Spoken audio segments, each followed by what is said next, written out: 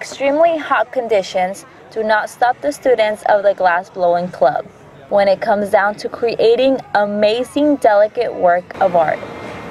Located in the Fine Arts Department, the Hot Shop brings students together to fund for a program themselves.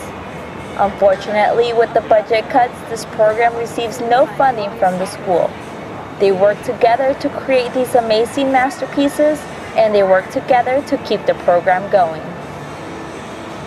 Um, the club actually has to uh, make money in order for us to blow glass, so we supply all the tools and all the glass. The cost to be in this class ranges from $100 to $300. But for most students, this is more than just a class. It's a passion, a way of life. It begins with gathering the glass, shaping it, heating it up, blowing the glass, and then heating it up some more. And to finalize, leaving it in the oven. And a little mistake can damage a whole creation. But for these students, nothing is impossible, and they will keep doing what they love. For some, it takes just a couple of minutes to be done creating an object from glass. Like they say, practice makes perfect, and in this case, it is not the exception. Hours are spent in the hot shop to achieve perfection.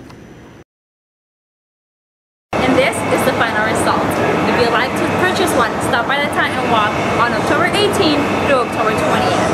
And then again, October 25th to October 27th. Reporting for the Daily Titan, this is Monica Castro.